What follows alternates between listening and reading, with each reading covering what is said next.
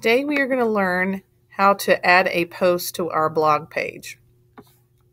What we're going to do is we're going to confirm that we are on our blog page. So here I can see I titled my blog page photographs, so I know that this is what I'm working on. Next, I'm going to go through here in the bottom right hand corner of my screen and click New Post.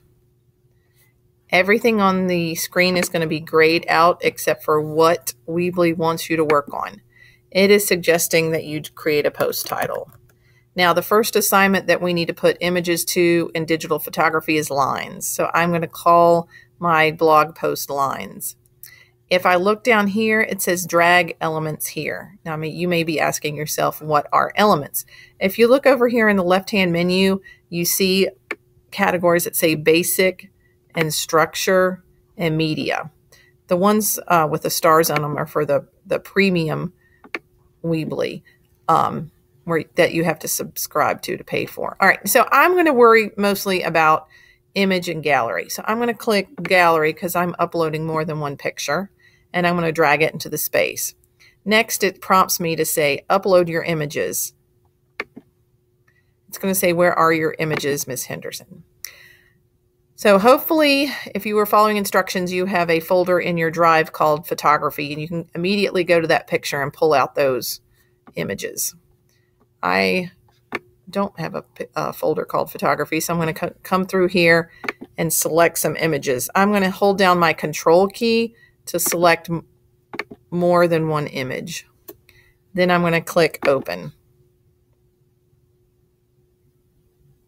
It's preparing the images. Now it's uploading them.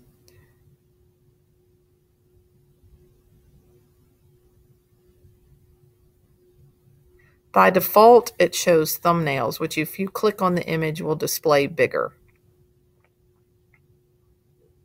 Now, I've not yet published this post. One critical detail is I need to go through here and hit the post button. But before I do that, I want to show you guys something about comments. By default, it has the comments are open.